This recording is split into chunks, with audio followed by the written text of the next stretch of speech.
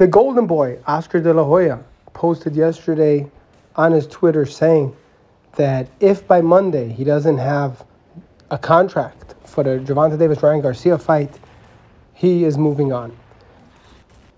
And a lot of people in boxing are panicking. They're saying, oh, we always knew this was a sham. We always knew the fight's not going to happen. We always knew this wasn't serious. And I want to tell everybody just chill.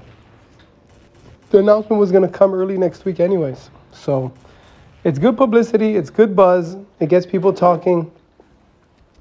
Uh, maybe Oscar didn't get the contract, but I'm sure he'll get it next week. This is too big of a fight to pass on. Here you're watching Ryan Garcia and Gervonta Davis each working out. They each have insane power. They each have insane speed. They're each undefeated. They're each putting their O on the line. We don't see a lot of fighters in this day and age willing to risk it all. We don't. We see fighters willing to take a calculated risk, uh, willing to take fights that they know they're going to win. We don't always see.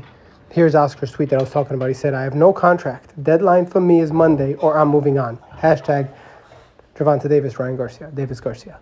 So um, I do believe that this fight is the biggest fight of our era right now, of our day and age. There's no bigger fight than that. Gervonta Davis has millions and millions and millions of fans, and he draws a lot of attention. He had eight sellouts in a row, five pay-per-views in a row.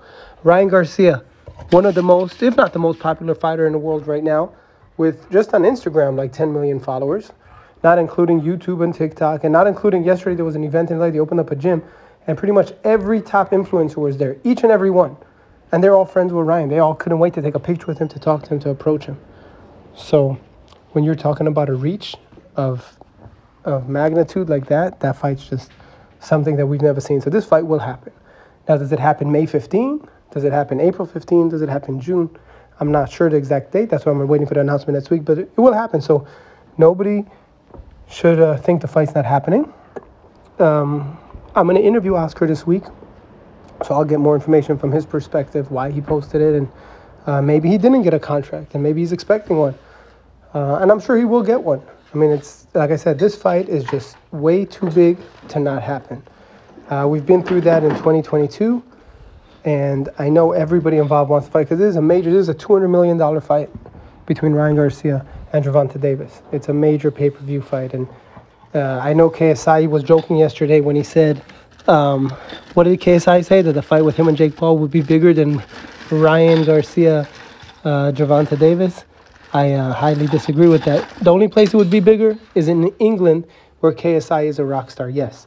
But I looked it up, and Texas is bigger than England. No disrespect to the people in England, they love boxing, they're good people, they're very supportive of their fighters, and I wish everybody here was supportive of our fighters like they are supportive of their fighters. That that's not a joke, and that's for real because the backing they give, they Joshua ninety thousand.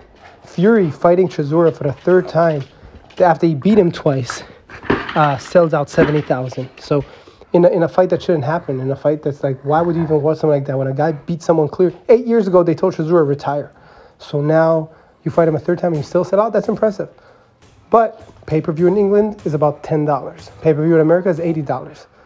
Like I said, the reach and, and the star status in sports is, I think, more massive than just because um, not every fan of KSI will tune in for boxing. They like him for his gaming, they like him for his music, maybe for other stuff. Tank and Ryan are the future of boxing, and they're not doing this part time or doing this as a gimmick or doing this. This is what they do. They're not gamers, they're not um, anything else. They're fighters. And a lot of people think Ryan can't fight because they just call him a pretty boy, and a lot of people think the Tank is not as good as he is because they just don't because they're haters. Bottom line is they just don't like them, which um, in both cases you got to respect both of them because both of them are undefeated. Both of them have insane powers. Both of them can sell out stadiums, which most fighters today cannot do.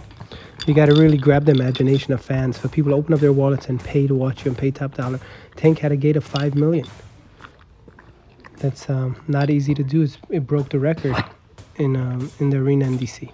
So we'll keep you guys posted. But right now, I would say it's too early to panic that this fight is not happening, that the fight will happen. And we'll keep you guys posted, of course, come Monday. And um, stay tuned for ESNewsReporting.com. I'm Elie Seckbach reporting. And you can follow me on Twitter at Seckbach. You can follow me on Instagram at Elie Seckbach.